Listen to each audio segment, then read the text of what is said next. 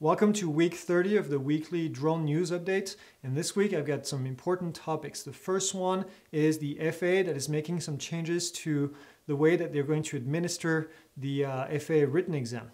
The next one is the proliferation of anti-drone technology out there. Somebody shared a link and I want to talk about this.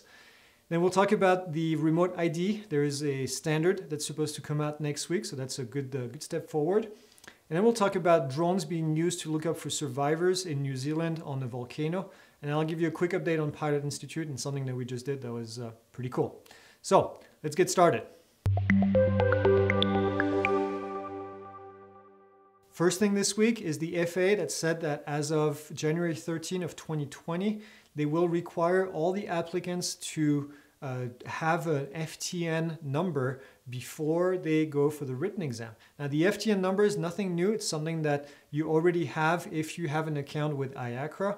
But in the past, what you did is you created the account after, after passing your written exam. Now you're gonna have to create the account before you pass your written exam. Now this is really all there is to it. There's not a whole big deal right here like some people are making it sound. It's really not all that difficult. So that's really the main change. Now, I did make a video to talk about this because there are some more changes that are coming up uh, that, uh, again, not really that big of a deal, but it's something that you need to be comfortable with and familiar with so that when you take either do your, your retake exam or when you do your initial Part 107, you know how to do it, okay? This only applies to Part 107 remote pilots. Uh, this does not apply to hobbyists, okay? If you're a hobbyist, skip that section. You don't have to worry about it. Now, one of the things that the, FAA has said that I think has created some chatter is the fact that they are using a new system. And using that new system, they actually will have the ability to do different types of questions. Now, they didn't really go into a whole lot of details, but what they said is that there could be scenario-based training questions in the future because they did mention the, the fact that they will have the ability to do scenario-based um, stuff. That's really all they said. So it's kind of dark, but um, I'm, I'm, I'm seeing that there's going to be some changes to the way the written exam is done, but not for right now, okay? For right now, all they've said is that as of January 2020, you need to have that number before you schedule your exam and that's it. So if you want more information about this, I recommend that you take a look right here at this video that I made earlier and uh, you can see all the details. About 10 minutes long and it explains everything in detail that you need to know, okay? Let's talk about the next topic. And this is something that somebody, one of you, uh, Rob actually, shared with me in the comments of last week's video. And uh, this is an article talking about the growth of anti-drone technology. It looks like the number of anti-drone technology out there is growing like moss on a tree in the Pacific Northwest, okay? Uh, this is just, they, they said that there was 537 uh, counter-drone system out there and, um, and that a lot of them were using what we call frequency jamming. And um, some of them were using nets. There's a whole lot of different types of, of technology. Now, the purpose of these systems is to take down the drones that are rogue, the drones that are going to be a danger to society, to someone, to an event, or whatever it is. Now, the way that they're going to do this is uh, some of them are using jamming technology. Now, the downside with jamming technology is the fact that in the US, it's still very illegal because of FCC regulation. Another thing to consider with jamming technology is the fact that these things are not targeting just one drone. They're targeting an area. Some of them were advertising 15 kilometers. Now 15 kilometers is about eight, almost nine miles, or actually a little over nine miles. And um, um, if you're going to be jamming signals for that long, you're going to be affecting also manned aircraft and then anything else in the path. So not really that great of an idea. And also remember that frequency jamming is really doing nothing for drones that are going to be on a path. Now, if you think about somebody who wants to do something stupid with a drone or somebody that wants to uh, create damage with a drone, they're likely not going to be flying the drone manually. They're likely going to put it on autopilot and then let it crash into whatever it is that they want to hurt. Okay, so these technologies, um, I think it's just uh, a business where people are seeing a big opportunity. There hasn't been anything bad happen with drone yet, and we know it's only a matter of time. And uh, what this really makes me think about is what are these companies willing to go through in order to make their system a necessity rather than just something sitting on a shelf at the moment. So that's just something to ponder for, uh, for you guys.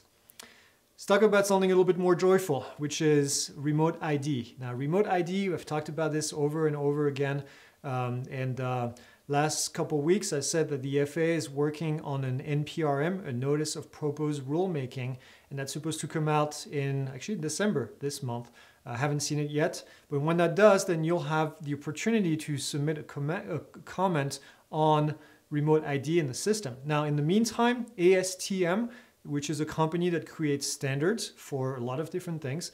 Uh, ASTM uh, said that they're coming up with the standards next week. So I wonder if that's actually a hint that when these standards come out, the FAA will also come out with the NPRM. Uh, so we'll find out. We'll find out next week. If I hear more, I'll let you know. The fact that ASTM is coming with standards is great.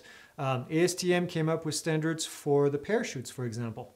Parachutes for drones are all governed by ASTM. The FAA says that if you follow the standards that ASTM created, then we'll give you a waiver to fly over people. Okay, so that's an example of what ASTM is going to do out there. Now, in terms of the standards, a little preview is they said that the uh, one of the standard was going to be that the drone is going to transmit the ID, their location, their speed, and their direction over a wireless network. And then you'll have the signal is going to be able to be picked up by uh, someone with the right software and be able to find out where the drone is located. What had a lot of you talking, and me included, was the fact that um, we don't want really people to know where the drone operator is going to be located, and not everyone should have access to that information. This creates a major danger for major danger, major danger for the people on the ground, and um, and this is not something that we should have to deal with. So. This is very much in line, that standard so far, with what DJI had presented a couple weeks ago that got a lot of people talking. And um, this is um, something that we'll see. We'll see how it works. Remote ID is advertised to be the next step in making what we call more complex operation become more routine. And if that happens, then we're going to have a lot more freedom to fly our drones out there. Hopefully, I'm I'm always kind of an optimist, so I'm I'm hoping that this is where we're going towards.